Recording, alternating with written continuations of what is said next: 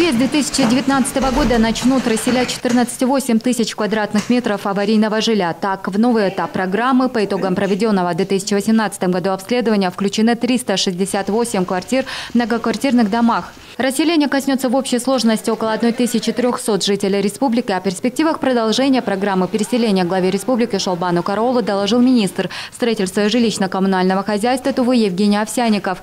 Так, по данным Минстроя региона, 157 помещений или около 5000 квадратных метров подлежащего расселению жилья находится в Кызыле. Еще 211 квартир, признанных аварийными и включенных в программу нового этапа, приходится на село Хуваксы.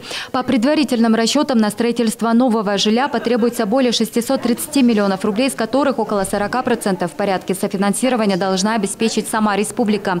Министр сообщил, что Фонд содействия реформированию ЖКХ в августе этого года одобрил для Тувы элемент финансирования по вновь выявленному аварийному жилью в размере 375 миллионов рублей на 2019 год. Эти средства начнут поступать сразу после того, как Тува изыщет и предусмотрит в региональном бюджете свою долю инвестиций.